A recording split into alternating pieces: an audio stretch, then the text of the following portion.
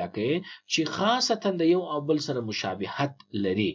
دا ټول ځوابونه چې کله په دې ځای کې راټول سول دا په مکمله توګه د خپل ذات کې د یو او بل سره مشابهت لري وخت چې مشابهت لري نو بیا به موږ او تاسو را ولاړیږو د دې څخه به دا به ټوله پر نمبرو باندې په منظمه توګه یږدو چې یو او بل ته نږدې اوسي نو هغه به راولاړېږي دلته به یې جوړوو چې فرض که دا یو څو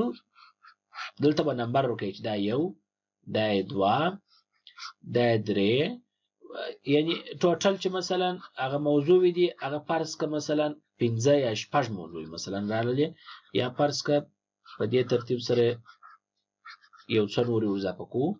د اوه اته نه او بالاخره لس یا یولس دغه یولس موضوعات پکښې پراته دي اوس نو د یولس موضوعاتو لپاره چې انتخاب سوي دي تر ټولو ډیر زیات چې فرض که مثلا راغلي مثلا الکترونیک میډیا کې ډیر شي خبرې سوي دي هغه الکترونیک میډیا پر دې ځای باندې ایږدو په دې ترتیب سره یې ورته برابروئ مثلا درې څلور عرصونه چې دلته راغله مثلا پرنټ میډیا او پر دې ځای باندې برابرو چې عرصونه رااله پر دا ځای به اجدو په دغه ترتیب سره هغه خپل کالمونه خپل عنوانونه ته به مستقیما بیایو وخت چې مستقیما ټول یو ورل سول بیا به د دې څخه موږ او تاسو را ولاړیږو یو یو کومولیټیو را ولاړیږو یو ډیستریبیوټیو چارت یا ډیستریبیوټیو شکل به جوړو مثلا پر دې ځای نمبرونه لیکو یو دوه درې څلور بار چارټ چې موږ او تاسې ورته وایو پنځه شپږ اووه اته نه لس یولس فرض که د یو کالم مثلا دغونه تعداد راغلی دلته نمبرونه ورکوي فرض که صفر دا فریکونسي د زموږ او ستاسې لس پنځلس شل پنځه ویشت په دې ترتیب سره راغله مثلا دوا بیا په دغه اندازه سوې ده درې بیا مثلا په دغه اندازه سوې ده او څلور بیا در هغه هم زیاته سوې ده دا نو بیا مثلا په فریکونسي پر اړه څونه قدر ډاټا پکې مثلا راغلي ده په دې ترتیب سره مثلا دا تر پای پورې داسې جوړیږي هکذا دا نور اړخ هم دا رقم بیا موږ ګورو چې په دې کې هغه تر ټولو مثلا لوړ حد چې هر ځای راغلی دی موږ کولی شو میډین راوباسو په دې جریان کې میډین راباسو د میډین فارموله بیل فارمولې دي چې هغه کاریږي وخت چې میډین راوستل سو بیا انټر کوارټایل هم راوستل کیږي د کوارټایل فارمولې هم موږ په اس آی کې لرو چې هغه تاسو د کیو ون او کیو ټو کیو تری کیو ټی خپل میډین دی چې پنځه سلنه راباسي او یو کوارټال چې دی هغه پنځه ویشت سلنه راباسي دوه کوارټاله 50 سلنه دي درې کوارټاله 50 سلنه او څلور خونونه ست چې هغه خپل سل دي بیا کله چې انټر کوارټال هغه فاصله راووتله نو پر هغه پار باندې موږ بیا معلوموو چې هغه تعداد ډیر زیات دی هغه جهت ته ورځي بیا نو پر دغه اساس باندې انټرول ټاکل کیږي چې یوې کمزوره حالت یعنی ډیر سمالست لیول دی او یولس هغه سترونګست لیول دی او یا لوی حالت دی په دې ترتیب سره ورته ډیزاین کیږي د دې څخه وروسته یو بل تخنیک چې معمولا کاریږي هغه ګوټمان تخنیک دی دلته به یاداشت ورته ونیسو دا نور تخنیکونه ډیر نه کاریږي خو خصوصا سس لپاره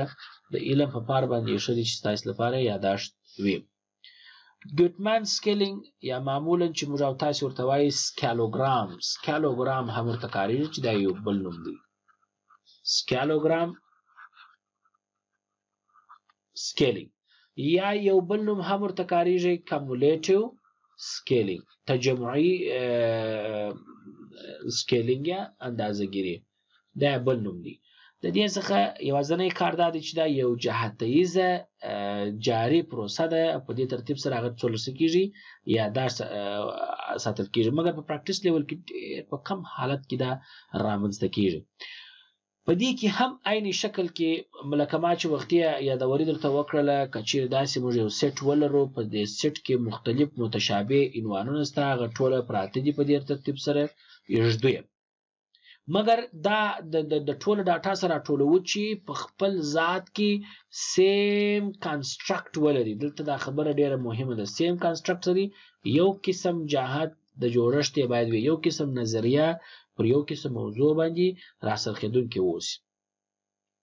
اوس نو دا به پر څو رقم موږ کولای شو قضاوت ور باندې وکړو مثلا د ډاکوټومس په شکل باندې قضاوت ور باندې کیږي د یاس او نو په شکل مثلا کچيري یو سټیټمنټ یا یو جمله ویل سوی و او هغه چیري ستا په خوښه کې و یعنی فیوریبل حالت کې و خوښه دی و فیوریبل حالت کې قرار درلودي نو ته به هغه ته ولیکې وای او که چیرې نن فیوریبل و یعنی هغه قابل د خوښۍ نه و هغه ته به ولیکې ان یا نو هغه بیا ستاسو کار دی چې کوم دا ورته کاروي او دا ټوله به د یو ټیبل په شکل باندې ډیزاینیږي یو ټیبل به جوړیږي او ټیبل ته به نمبر ورکول کیږي آیټمونه په ترتیب سره ډیزاینیږي ورکول کیږي هغه ته په کتلو سره به دا مثلا جوړیږي څنګه فرض که دلته ځواب ورکول سوی دی ریسپونډنټس په دې طرف کې لیکل کیږي مثلا یو دلته آیټمونه دي پر هر آیټم باندې چې مثلا خبره سوې ده فرض که دغه درې درې آیټمونه باندې خبرې سوي دي مثلا پنځه ریسپونډنټس په اول کتار کې چې راغلي و هغه په دې ځای کې وای دی مثلا دلته هم وای دلته لیکه شوې یا نو خپل د نو په معنا ده فرض کړه دیرش ریسپانډنټس په دې کې لیکه کاش کړه دلته وای دی دا هم وای دی پنځه ویشت ریسپانډنټس وای دی دلته هم لیکه کاش کړې ده په دې ترتیب سره چې هر څونه فیوریبل د وای ډیر وه په هماغه ترتیب سره موږ حساب ورته کوو چې هغه څه دی کومولیټیو لیول کې مالته ځکه مال تجمعي حساب ورته کیږي جمع کوي بالاخره ورته وایي چې په دغه اندازه کې دا شی دغونه فیوریبل دی یا دومره فیوریبل نه دی دا موږ درې سکیلینګ میتود په اټیټیوډز کې لرو یا په برخورد کې لرو چې کاریږي د هغوی څخه ډیر زیات استعمال دی لیکټ سکیل دی چې هغه په پنځه جزئیه و جزئیه یا درې جزئیه معمولا رایج دی موږ کولی شو نور جزونه هم ورته ور اضافه کړو یا ځینې کم کړو